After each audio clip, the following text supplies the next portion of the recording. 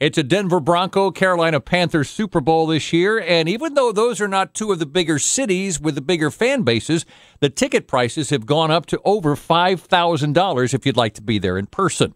Miro Copic joins us. He's a San Diego State marketing lecturer, and he's here to talk about why things are so expensive with the NFL and when you come to the Super Bowl, why it costs so much there as well. Well, we have two of the smaller market teams making the Super Bowl, but the prices are even higher. We just have an obsession with football in this country. Yes, we do. Um, and the NFL is taking advantage of it, but uh, you've got um, a very important Super Bowl. It's the 50th Super Bowl, so that adds a little cachet. It's in a brand new stadium up in Santa Clara, the Levi Stadium up there.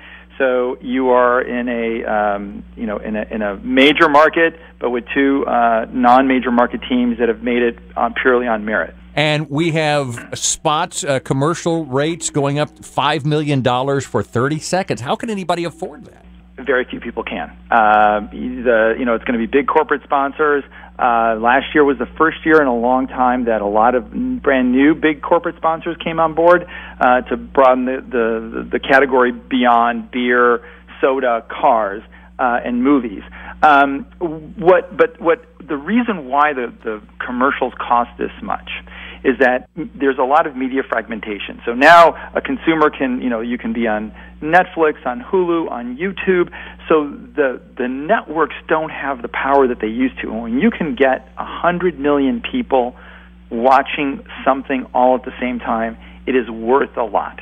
Does it translate to dollars for those advertisers? It translates to very clearly brand awareness. Often it translates into sales and it cascades into goodwill going down the road. This allows these advertisers to kick off the year in an aggressive way to meet their sales targets people who aren't on the Super Bowl, you know, have to kind of pick up the pace later in the year. You know, I, I heard Mark Cuban say something about the NFL. He's talking about the old uh, adage about hogs get slaughtered and such. Uh, it, you know, talking about the NFL is just they're grasping for more and more and more, and they're growing at a, a what he perceives to be an unsustainable rate. I mean, can the NFL can they continue to grow like this? You know, as long as the NFL can consolidate the audiences for advertisers they can. I, I would suspect that the rate of growth is going to begin to taper off, but I see consistent growth because as marketers search for vehicles that are going to reach a lot of people who are in a very positive mindset, they don't find those avenues. You know, they're going into little micro target audiences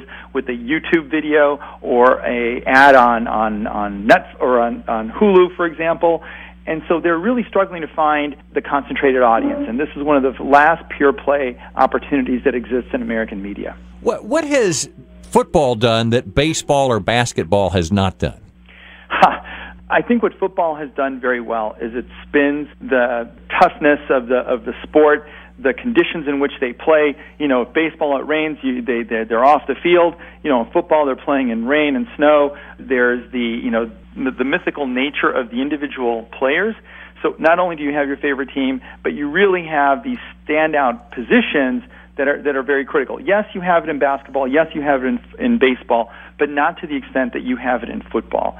And um, the NFL has done an amazing job uh, in in merchandising not just the league in general, but in particularly the teams. Whether the teams do well or poorly, they they they've done an amazing job at merchandising uh, NFL gear.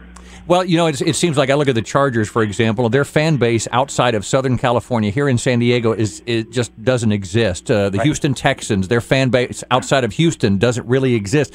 A lot of these teams have local fan bases, but they don't have national presence, and that's why when I look at the, the amounts of money that teams can make and and that the NFL brings in, I'm thinking these guys are brand geniuses. Well, partly, but you know, it's really funny. I did a little analysis on the Forbes listing of the top, you know, of of, of the uh, both the value and the and the revenues of, of all 32 NFL teams. And if you look at teams like the Steelers, the Baltimore Ravens, the Indianapolis Colts, the Denver Broncos, and the Green Bay Packers, all these teams have very high team values, well, you know, closing in on 2 billion. They're small secondary cities and they have more revenue and they have more profits than the San Diego Chargers. And the San Diego Chargers interestingly are in the top half of the most profitable teams in the NFL, beating teams out like the Chicago Bears, which is the third largest city in the country and and a major media market. I can't. Now how would that happen? You know, it's a, it's a fascinating. You know, I think it goes to the to, to the teams. Those teams that I just mentioned all have been in the Super Bowl or won Super Bowls within the last decade, and and in some cases multiple Super Bowls. And and and I think at the end of the day, if the what the NFL has been able to do is put generally, with a handful of exceptions, very good product on the field. And it allows not only people to have their, their local area teams, but for those area fan bases to be broader. You know, one of the challenges with the San Diego Chargers is that, you know, in 50 years here in San Diego, we, we've been to one Super Bowl and we haven't won any. But you'll look at the Denver Broncos, they're playing their second Super Bowl in three years. They're a much smaller market than San Diego. And, and what's critical about branding is not just how it is marketed, but how good the product or service is. And if you have a superior product or service, you want to advertise it in a you know in a media venue like the Super Bowl as quickly as possible. You know, Professor, we've been hearing for a long time that the NFL was uh, that just one of those types of examples where you don't necessarily have to put a good product on the field to still make a lot of money and be valuable. Um, you know, it, it's amazing because of what the NFL does to subsidize, and you know, it's a it's a whole study in in, in kind of uh, cartel theory, but the NFL subsidizes enough of the teams that don't do as well that they stay within range. And so you may have the Texans or the Chargers that don't have the broader fan base, but they have a loyal fan base within a very reasonable area of their of their home market. You have 50 yard line seats for the Super Bowl?